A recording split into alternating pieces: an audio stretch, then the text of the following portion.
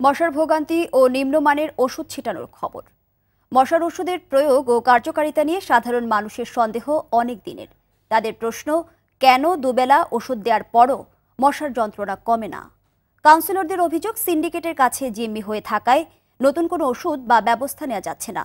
রাজধানীতে মশার উপদ্রব নিয়ে অবি ইসলামের ধারাবাহিক রিপোর্টের শেষ পর্ব আজ।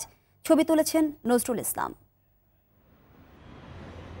রাজধানীর কুরিল ফ্লাইওভার। চলছে লার্ভি সাইডিং বা মশার ডিম নিধন কার্যক্রম। মশাকে গোড়া থেকে নির্বংশ করতে সিটি কর্পোরেশনের কর্মীরা ওষুধ ছিটাচ্ছেন। তদারকি করছেন কাউন্সিলররা।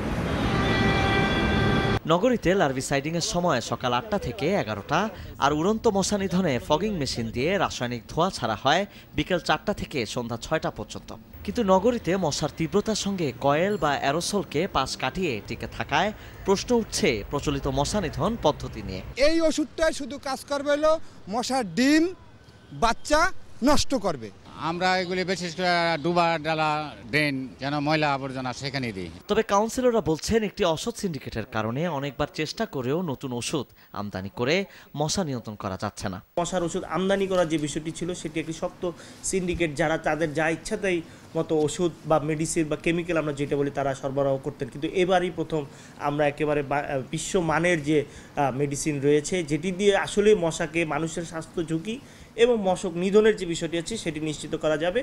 সেইটি কিন্তু আমাদের ইতিমধ্যে আমদানি করা হয়েছে। আসার কথা হচ্ছে এবছর উত্তর সিটিতে নতুন ওষুধ আনা হয়েছে। নতুন একটা ওষুধ মা- বাজারজাত করেছে যেই ওষুধটার নক আউট ছিল হান্ড্রেড পার্সেন্ট অর্থাৎ মারার সাথে সাথে মশা হান্ড্রেড পার্সেন্ট মশা পড়ে যায়। এই রকম একটা ওষুধ আমরা এই এই সপ্তাহ থেকে আমাদের বাজারজাত করা হয়েছে আমরা প্রত্যেকটা ওয়ার্ডে ওয়ার্ডে দিচ্ছি এবং সেটা দিয়ে আমরা এবার কাজ করব। কাউন্সিলররা মশা নিধনের পাশাপাশি নগরবাসীকে বাসাবাড়ির আঙিনা পরিষ্কার রাখার আহ্বান জানিয়েছেন। যার যার বাসা পরিষ্কার রাখার জন্য আমরা রিকোয়েস্ট করতেছি। আমরা যখন রাস্তায় ওষুধটা দিই, তখন রাস্তার মধ্যে দিই, ডোবার মধ্যে দিই। কিন্তু রাস্তার পাশে যে বাড়িটা আছে, তার যে বারান্দা বা তার যে ছাদ, এই জায়গাটা অপরিষ্কার থাকে, ওই জায়গায় কিন্তু আমরা ওষুধ দিতে পারতেছি না। ওই জায়গাটা যার যার বাড়ি তাড়াতাড়ি করতে হয়।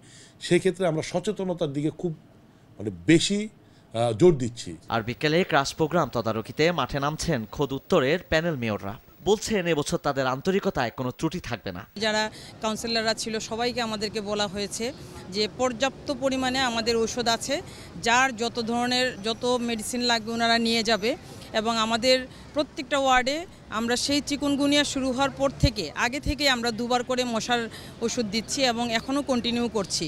নতুন ওষুধ কাজ করলে নাগরিকদের স্বস্তি বাড়বে বলেও আশা তাদের।